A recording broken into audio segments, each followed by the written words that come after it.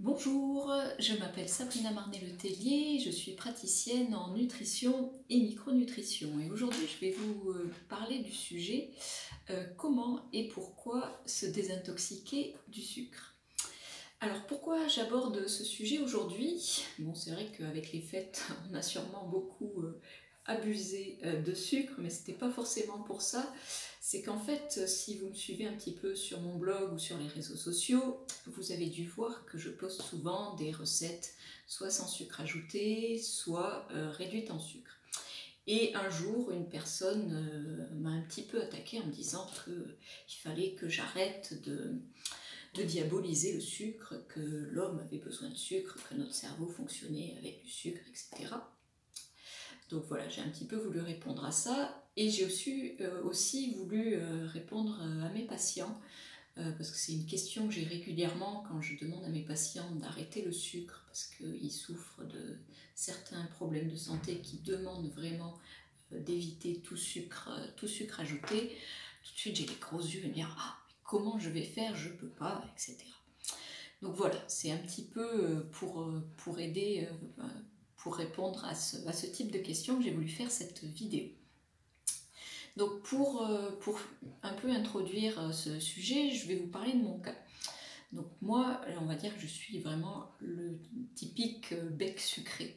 Moi, le sucre, j'en ai toujours mangé. Bah forcément, quand on me regarde, hein, je fais 50 kilos tout mouillé. Quand j'étais enfant, pas, j'étais plutôt maigrichonne, donc forcément, on m'a jamais freiné sur le sucre ni sur le gras, c'était même au contraire, vas-y, tu peux manger, ça te fera grossir. Conclusion, quand j'étais gamine, moi le petit déjeuner c'était une petite briochette hein, avec un peu de beurre dessus et puis du sucre en poudre. Euh, à 4 heures, j'avais tendance à prendre le paquet de céréales, donc en général les frosties, euh, les choses comme ça bien, bien sucrées, et à piquer dedans pendant 10 minutes. Donc c'était pas 40 grammes de céréales que je mangeais, non, non, c'était à peu près un, quart du paquet. Donc je vous dis pas la, quantité de sucre que je, que je m'avalais. Et bah, toujours le sucre m'a accompagné, moi c'était un peu l'anti-stress. Hein. Dès que j'avais un coup de stress, j'allais piquer dans le paquet de bonbons. Encore une fois, vu mon poids, je ne m'étais jamais posé la question de me dire ah, le sucre c'est pas bon pour moi. Jusqu'au jour où euh, pas de bol, j'avais commencé à avoir, euh, être très fatiguée, à avoir euh, donc une, fatigue, chronique, des problèmes un peu digestifs, et on m'a diagnostiqué une candidose. Et là, c'était un peu le début de la fin. Donc une candidose, c'est quoi? Ben, Candida, c'est dû à Candida albicans, qui est une levure que tout le monde a dans l'intestin. Ça fait partie de notre flore normale.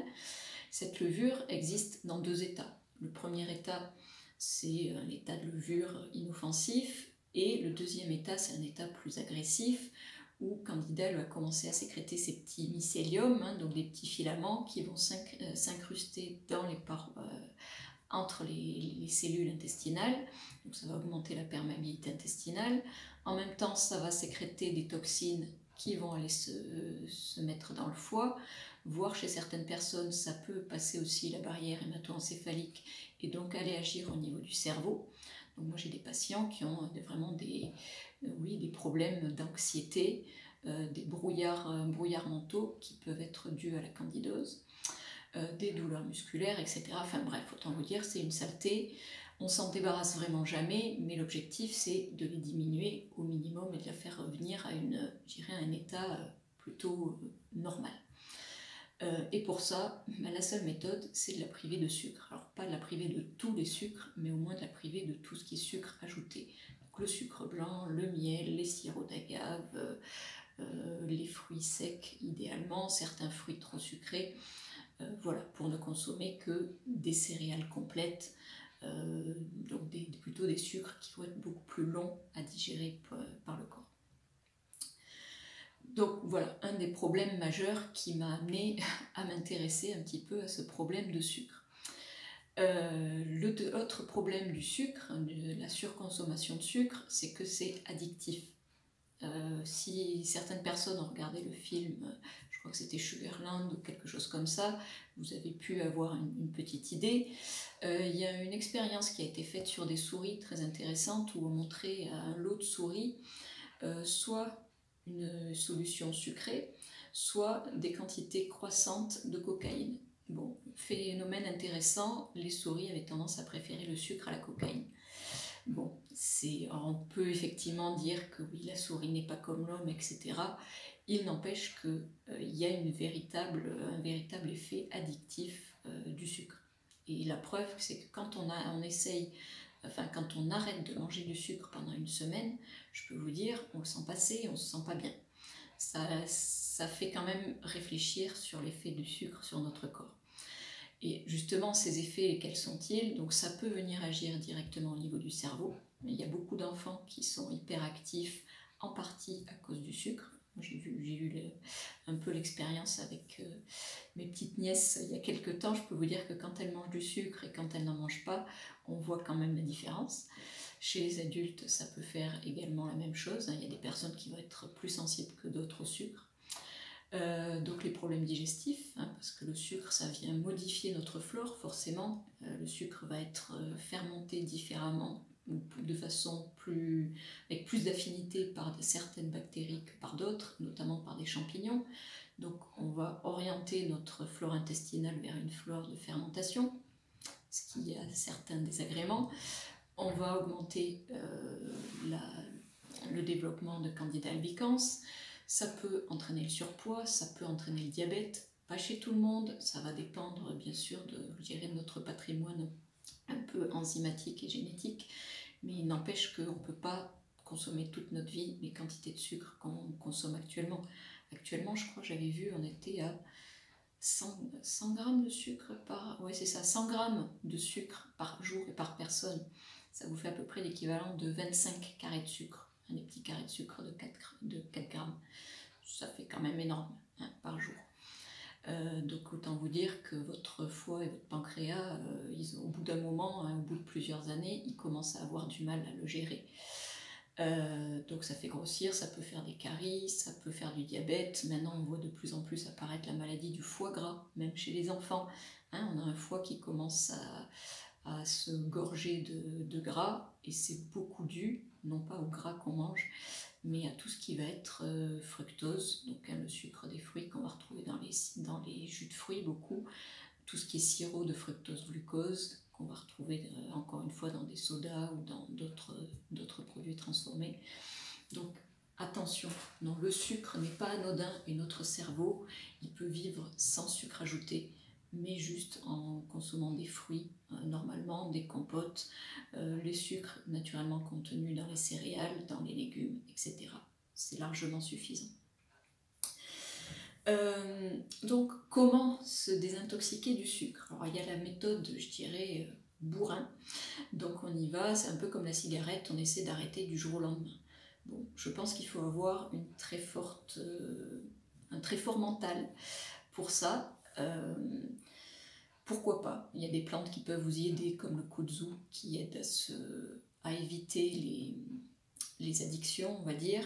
Il y a l'hypnose aussi qui peut peut-être être efficace. Donc c'est un choix, au moins du jour au lendemain, voilà.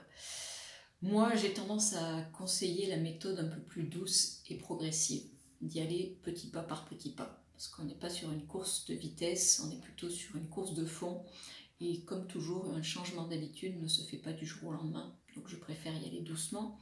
Donc commencer déjà par vider ses placards. Hein. On fait, je dirais, on fait le vide, on évite la tentation, donc on enlève tout ce qui est gâteau, tout ce qui est bonbon, tout ce qui est chocolat. Éventuellement, on garde du chocolat noir, minimum 60-70% de cacao, pas moins. Euh, donc on dégage ces produits-là avec des sucres, je dirais, visibles, mais on, fait attention aussi à tout ce qui est sucre invisible. Et cela, vous allez les retrouver dans les sauces, hein, le ketchup, tout ce qui va être sauce un peu asiatique, les sauces aigres douces, etc. Vous regardez, euh, je me suis amusée un petit peu à regarder les étiquettes. Le deuxième ingrédient après l'eau, c'est le sucre. Hein. Euh, donc ça fait, c'est pareil. Vous mettez un petit peu de sauce, en fait, vous mettez, vous mettez du sirop, tout simplement. Bah, les sirops aussi, hein, qu'on à boire. Euh, vous en avez dans les pains, vous en avez dans plein de choses. Donc vraiment, regardez vos étiquettes et faites le tri. Comme ça, bah, vous évitez la tentation au maximum. Ensuite, bah, vous vous mettez au fourneau parce que vous avez beaucoup de produits transformés qui contiennent ces sucres. Donc une fois qu'on les a évités, bah, après on ne va pas s'empêcher de manger non plus. Donc le mieux c'est de se remettre au fourneau, de cuisiner et puis bah, donc de faire ses propres. Alors c'est pas pour remplacer toute sa collection de petits lus et autres par euh, la même quantité de muffins et autres maisons. C'est pas forcément parce que c'est maison que ce sera nickel. Euh, si vous faites maison, faut un en manger avec parcimonie, donc s'accorder un petit gâteau vers 16-17 heures, c'est bien. S'en accorder un à midi, deux à 16-17 heures, un au goûter, deux au petit déjeuner, c'est trop. Donc, toute une, question de quantité.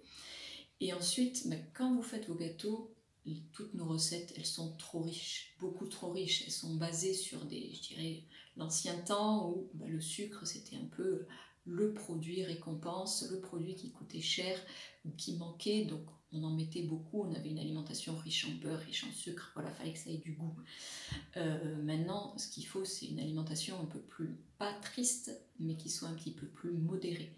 Vous allez voir, vous pouvez commencer par réduire de 30% votre quantité de sucre, donc c'est enlever un tiers.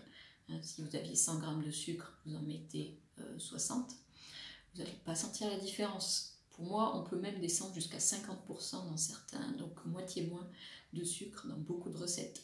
Si vous trouvez que ça manque un petit peu, ben, rajoutez soit des, fèves de cacao concassées, pour, pour, donner un petit goût de cacao sans sucre, soit, euh, soit des pépites de, chocolat noir, sinon des fruits tout simplement. Vous faites des, cookies euh, avec, euh, avec des pommes, avec des, des pommes séchées par exemple, des raisins secs, ça vous diminue la quantité de sucre du gâteau, mais vous apportez, je dirais, du sucre naturel avec le fruit. Puis, pareil, au petit déjeuner, par exemple, vous passez sur des choses sans sucre ajouté. Moi, je fais, je fais de temps en temps des, des porridge. J'ai arrêté d'y mettre du sucre en plus, mais par contre, j'y mets quelques fruits dedans qui vont m'apporter ce petit goût sucré, mais juste le petit goût sans la dose de sucre. Pareil, les compotes, achetez-les sans sucre ajouté. Euh, ne les achetez pas réduits en sucre ou normalement avec du sucre. Le fruit est déjà naturellement sucré, il n'y a pas besoin de plus.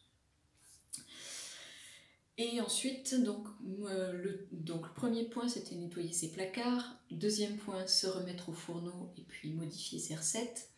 Troisième point, c'était modifier ses habitudes, notamment en termes de boissons. On se méfie jamais trop, mais tout ce qui est jus de fruits, évitez les jus de fruits.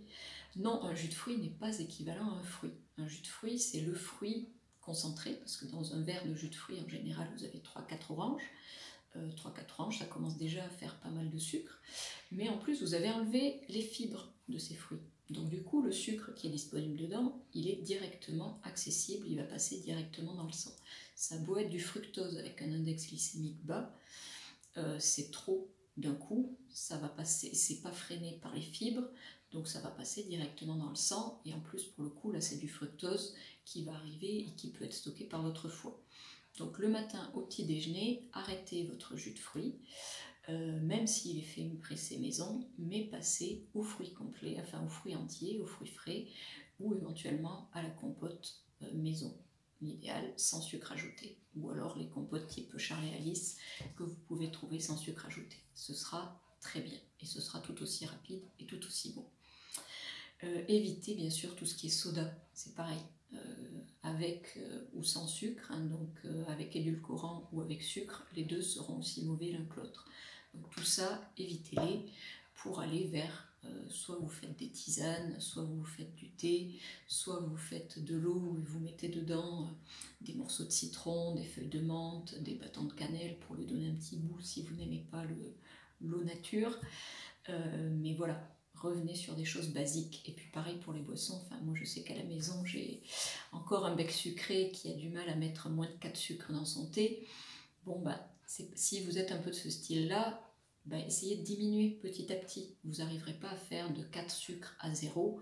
Par contre, vous pourrez faire 4 sucres, 3 sucres et demi, 3 sucres, etc., etc., petit à petit, pour arriver jusqu'à pas de sucre du tout. Et si vraiment, par exemple, moi je sais que le thé, je n'arrive pas à le boire sans sucre, euh, surtout les thés parfumés, donc je m'en garde un sur la journée. quand j'ai en période de candidose, j'y mets juste un petit peu de, stevia dedans parce que vraiment je peux pas autrement. Mais le reste du temps, je suis passée aux tisanes qui, elles, j'arrive à les boire sans sucre. Donc c'est aussi ça, si vous, vous ne buvez du café qu'avec 10 sucres dedans, peut-être que le café, c'est finalement vous n'aimez pas, hein, s'il vous faut autant de sucre pour cacher le goût. Alors dans ce cas, passez sur autre chose, donc sur un thé ou sur une tisane ou juste sur de l'eau, si ça peut vous, vous suffire. Comme je vous dis, on consomme 100 grammes de sucre par jour, 25, à peu près 25 sucres. Euh, c'est beaucoup et tout ça c'est beaucoup dû aussi à des sucres qui sont cachés comme ça dans ce type de produit. Et puis, ben, une des, méthodes aussi pour diminuer ces quantités de sucre, c'est de passer tout simplement un petit déjeuner salé et pas sucré. Ce sera meilleur pour vous, parce que le matin, hein, le problème du, sucre, c'est que ça aide à la formation de la sérotonine. Sérotonine, c'est une petite neurotransmetteur, un neuromédiateur qui, va, euh, qui, qui est apaisant. Sauf que le, ça, on est plutôt censé le fabriquer en fin de journée. Le matin, on est censé euh, fabriquer de la dopamine. Et la dopamine, on la fabrique à partir de protéines et en l'absence de sucre. Donc si vous prenez un petit déjeuner sucré, vous n'allez pas fabriquer les bons, les bons neuromédiateurs. Donc vous allez démarrer la journée, vous allez être zen. Mais vous allez, sauf que le matin, on a besoin d'un petit peu de pêche pour démarrer. Donc ça ne va pas aller. Et sans compter que si vous prenez trop de sucre le matin, vous faites tout de suite monter votre glycémie, puis vous allez passer la matinée de pic de glycémie en hypoglycémie, en glycémie, etc. etc. Ça, c'est le matin, le petit-déj typique français, hein, des céréales euh, petit déjeuner euh, avec euh, du lait et du, du, jus de fruits. Donc ça, ça vous fait un pic d'hypoglycémie deux heures après, donc vous avez envie de manger. Pour les enfants, ils n'arrivent plus à se concentrer, ils sont surexcités. Donc ils vont reprendre allez, un petit pitch ou euh, une petite madeleine ou un petit gâteau. Hop, on va remonter la glycémie en flèche qui va se recasser la figure de une heure après, parce que là, il n'y en a pas eu beaucoup. Bref, vous passez la journée à faire le yo-yo. Donc ça, effectivement, c'est le diabète assuré. Hein. Et en plus, la, la prise de poids assurée aussi, parce que ça, ça vient direct sur les bourrelets. Voilà. Donc le matin, par contre, si vous prenez un ou deux œufs, un œuf pour les enfants, deux œufs pour les adultes, ou du jambon, ou du fromage, euh, bref, des protéines, prenez ça le matin avec du pain complet, avec un peu de beurre ou une poignée d'amandes, de noisettes, votre boisson, un fruit ou un légume. Si vous faites, euh, moi je me fais de temps en temps euh, une petite omelette, mais je me la fais avec une petite poêlée d'épinards. Ça peut être surprenant le matin, mais même moi, je vous assure, même moi qui étais vraiment le bec sucré, le matin il me fallait mon sucre. Et je vous assure que maintenant, voilà, je ne prends pas toujours salé, mais au maximum j'essaie de le faire. Et en fait, j'adore ça et ça me tient beaucoup plus longtemps. Et quand on commence le matin salé, on a beaucoup moins aussi d'envie de sucre sur la journée. Donc voilà, toutes ces petites astuces euh, pour vous aider diminuer petit à petit ces quantités de sucre. Et le dernier sujet, c'est les édulcorants. Que faut-il en penser? Eh bien non, on ne supprime pas, on ne remplace pas le sucre par des édulcorants. Ça ne sert à rien. Ça ne sert à rien doublement, parce que d'une part, parce que vous n'allez pas vous perdre cette habitude de manger hyper sucré, vu que le goût, vous allez remplacer un goût sucré par un autre goût sucré. Donc vous n'allez jamais euh, pouvoir changer vos habitudes, vous avez toujours ce goût sucré qui va rester en bouche et ça trompe votre, cerveau. Ensuite, les édulcorants, donc il y a plusieurs études qui ont montré que tous ces édulcorants, que ce soit l'acésulfame, le sucralose, l'aspartame, euh, enfin quasiment tous les édulcorants, sauf quasiment la stevia qui n'a pas été encore très trop testée, mais tous ces édulcorants viennent modifier votre euh, microbiote, vont venir agir au niveau de votre flore intestinale. Ils vont la déséquilibrer et en conclusion, ça vous fait une inflammation de bas grade, tout comme pourrait le faire le sucre. C'est pour ça qu'on a autant de chances, je dirais, d'avoir un diabète en consommant des produits édulcorés toute la journée qu'en consommant du sucre. Donc si vous voulez consommer des produits sucrés, prenez à la rigueur, prenez-en moins, mais prenez du vrai sucre. Euh, donc ça peut être du sucre de coco, du sucre de, du sirop d'agave ou du sirop d'érable ou du miel euh, ou du sucre complet. Vous en prenez moins souvent, mais au moins vous prenez du vrai. Voilà. Euh, gardez le, dirais la stevia pour vraiment un produit que vous n'arriveriez pas à vous, dans lequel vous n'arriveriez pas à vous passer de sucre et si vous devez vraiment éviter absolument le sucre comme dans les cas de candidose ou d'autres problèmes de santé. Mais sinon les édulcorants non, c'est à bannir. C'est à bannir, c'est mauvais pour vous, ça ne sert à rien, c'est plutôt toxique. en plus, il y en a beaucoup qui, sont, qui deviennent toxiques à la chaleur. Donc non, on évite les édulcorants et on essaie vraiment de se désintoxiquer du sucre. Voilà, ben écoutez, je serai ravie de répondre à vos questions, vos interrogations, vos remarques. Euh, et puis si vous laisser un commentaire, n'hésitez pas. Je vous remercie.